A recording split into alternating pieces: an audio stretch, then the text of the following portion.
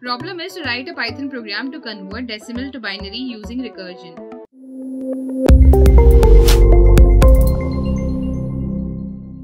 Hello everyone, a very warm welcome to WsCube Tech. My name is Ayushi Jain. In this video, we will learn how to write a program that will allow us to convert a decimal number into a binary number using a recursion method.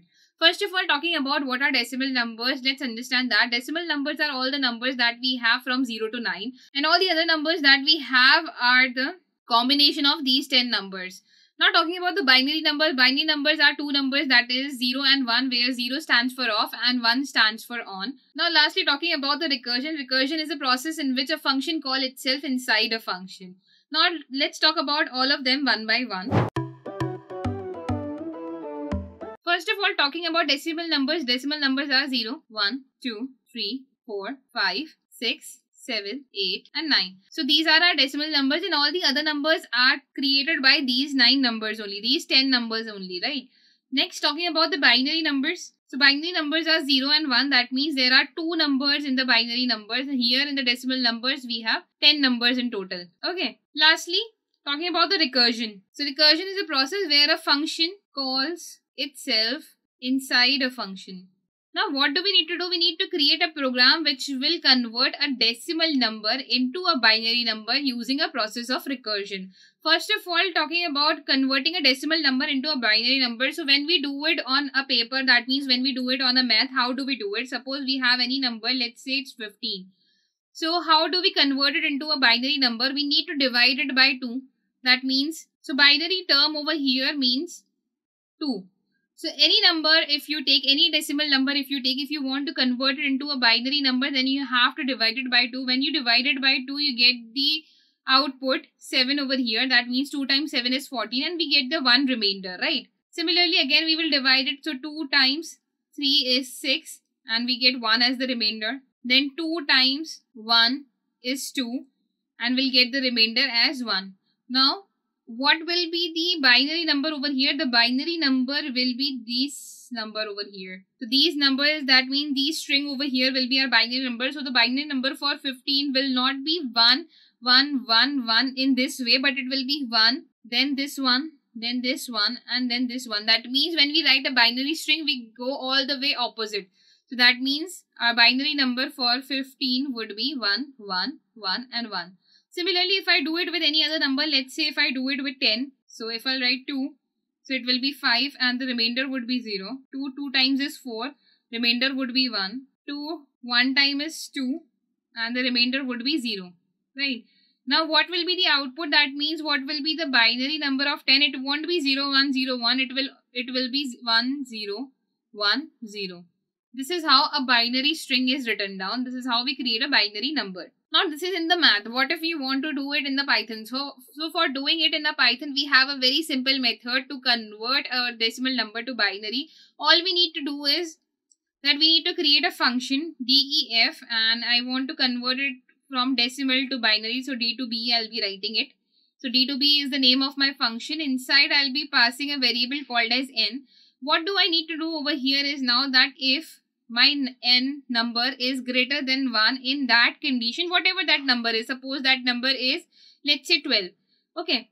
So what do i need to do? I need to do the floor division of it to get the uh, to get the quotient over here. So number floor division 2 and we have to put it inside d to b. That means we will call this function over and over again till the value is less than 1 okay.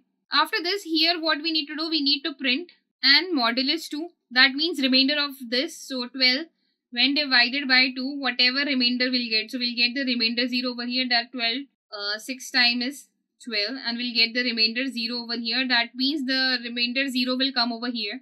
Then we will write end is equals to open close quotations to to again iterate this that means this is this will work like a function over here that means it will call itself again that means d to b is a function which is calling itself again inside the function. That is our process of recursion that it is calling itself inside the function. Now next time what d to b will be? It will be our 6. So 6 when divided by 2 and 6 modulus 2 that would be our 2 3 times is 6 remainder is 0 again. So next value would be 0 again. So we have now 0 and 0 now this time we have 3 so 3 floor division 2 would be 1 and the remainder over here will also be 1 that 3 when divided by 2 gives us 1 that 2 1 is 2 and the remainder is 1 so next value would be 1 and lastly the last value the last remaining value will again become 1 so the value would not be 0 0 1 1 it will be 1 1 0 and 0 this is how it will work now let's put this similar logic inside our program so i'll be writing def convert binary because we want to convert it to binary so I'll be creating a function that is called as convert binary and I'll be passing a parameter called as n over here. Inside this, I'll be giving a condition that if n is greater than 1, only if n is greater than 1, and that condition, what do we need to do? We need to call this function convert binary. And inside, we have to pass n floor division 2. Why every time we are taking the value 2? Because we have to convert it into a binary and the word binary means 2 over here.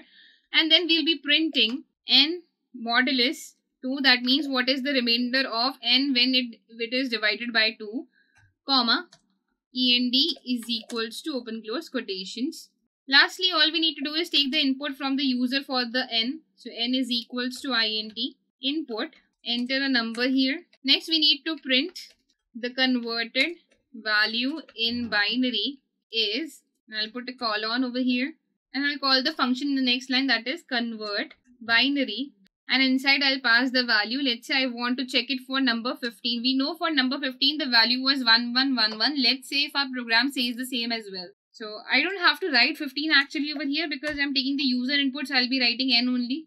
So if I run it, if I write 15 over here, it gives me the converted value in binary is 1111. That means our program is working perfectly fine. And if I'll check it for 12, for 12 we found out that the value was double one double zero. Let's see if it is double one double zero or not. So let's run. And if i'll write 12 it says double one double zero. That means our method over here is working perfectly fine so all we needed to do was create a function called as convert binary and pass a parameter n and we need to give a condition that only if n is greater than 1 in that condition what we will do we will convert the binary.